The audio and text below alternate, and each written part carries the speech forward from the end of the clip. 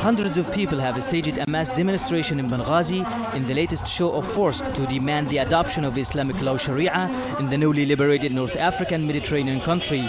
The demonstration that is lasting for days might irritate the predominantly secular technocratic interim government and disappoint the Western powers that supported the Libyan people getting rid of former dictator Muammar Gaddafi chanting the people want an Islamic state, the people want Sharia, and staging a military parade.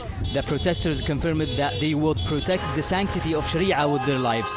Believing that all atrocities and misfortunes the country has been plagued with are due to the Muslim desertion of Islamic traditions, the protesters who are described by some secular activists as radical Islamic groups argue that the one and only path for salvation is by clinging on the Islamic values.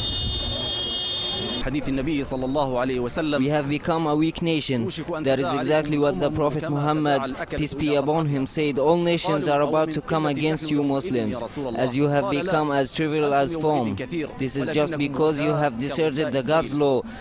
Waving flags and banners, preachers have demanded imposing Islamic values that have been denied in practice rather than in theory for four decades, arguing that it is now time for cleansing the homelands of Islam from filth and positivist laws that have been inherited from the West and ruined the Islamic nation for ages. Waving black flags imposed with I bear witness there is no God but Allah and Muhammad is the Prophet of Allah. Sharia guardians are determined to retain the Islamic law and also adopt the Palestinian case. We are the nation of Islam. We have to cling on to Sharia law, especially to liberate Palestine. I'm sure that once we come back to the law of Allah, we will regain Palestine. In Libya, one of the most conservative Islamic countries, there are absolutely no non-Muslim communities, with the possible exception of individual expatriates. Secular dictatorship that ruled the country for 42 years of repression came to an end by what is so-called the Arab Spring upheaval. Libyan Islamic groups who played a major role in the revolution that unseated former dictator Muammar Gaddafi were severely repressed under his rule.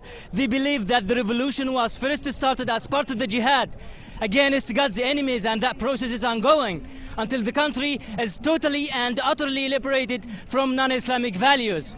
Mahmoud Hussein, Press TV, Benghazi.